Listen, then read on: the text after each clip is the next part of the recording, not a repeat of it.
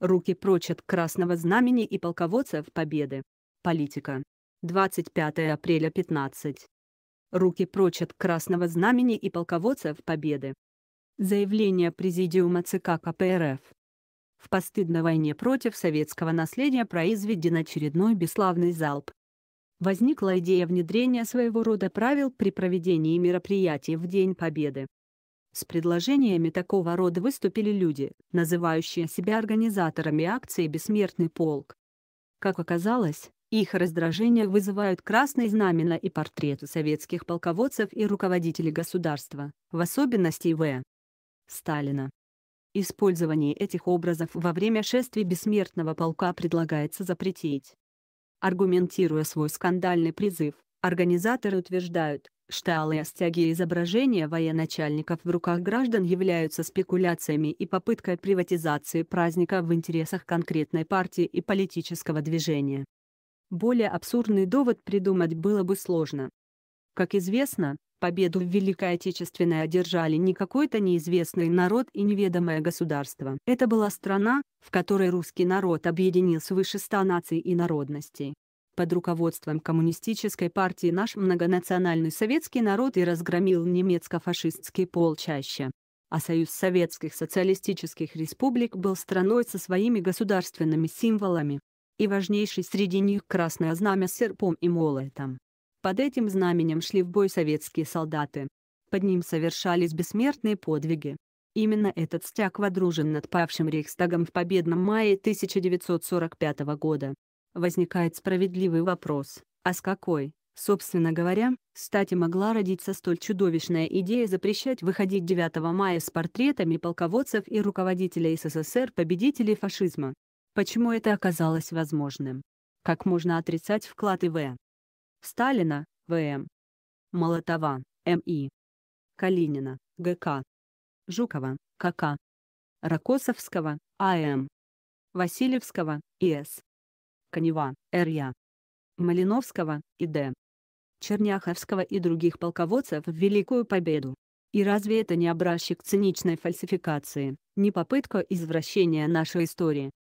Напоминаем авторам оскорбительного предложения, что федеральным законом от 7 мая 2007 года Знамя Победы признано официальным символом победы советского народа и его вооруженных сил над фашистской Германией в Великой Отечественной войне 1941-1945 годов, государственной реликвия России. В День Победы 9 мая копия этого знамени вывешивается наравне с государственным флагом Российской Федерации.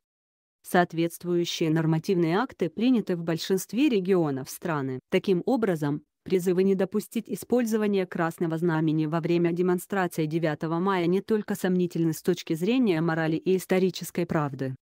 Такая позиция входит в прямое противоречие с российским законодательством. Возникает вопрос, какие цели преследуют авторы подобных заявлений. Если они решают задачу дискредитировать саму идею бессмертного полка, то ими выбран верный путь. Подобными провокациями искажается память о величайшем свершении нашего прошлого. Бросается тень на ратный трудовой подвиг советского народа. Обильно льется вода на мельницу русофобов и антисоветчиков всех мастей доморощенных и забугорных. К сожалению, данный случай не единичный. Попытки переписать историю Великой Отечественной войны продолжаются не одно десятилетие. Первопроходцем этой гнусной практики стал министр пропаганды фашистской Германии Йозеф Геббельс. Следом за ним вся рать антисоветского фронта повторяла измышления его зловещей конторы. И эти старания не прошли даром. Возрождение нацизма стало реальностью наших дней. Парады легионеров Waffen-СС превратились в обычную практику в странах Прибалтики. Прославление гитлеровских приспешников происходит на Украине. Памятники советским воинам-освободителям беспощадно уничтожаются в Польше и ряде других государств. В западных странах все настойчивее отрицается вклад СССР в победу над фашистской Германией. Но чем кардинально отличается деятельность провокаторов внутри России? Разве не у нас возникали попытки перелицевать знамя победы, заменив серп и молот на странную белую звезду? Разве не в Москве продолжается позорная драпировка мавзолея В. и Ленина перед военным парадом в День Победы.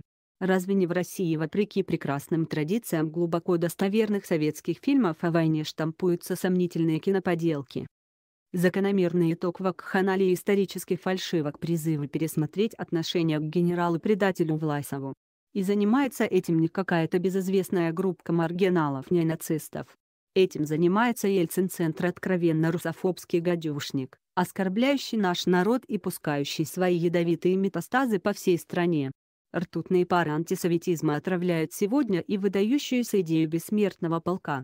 Безусловным позором стало случившееся 9 мая прошлого года в Перми.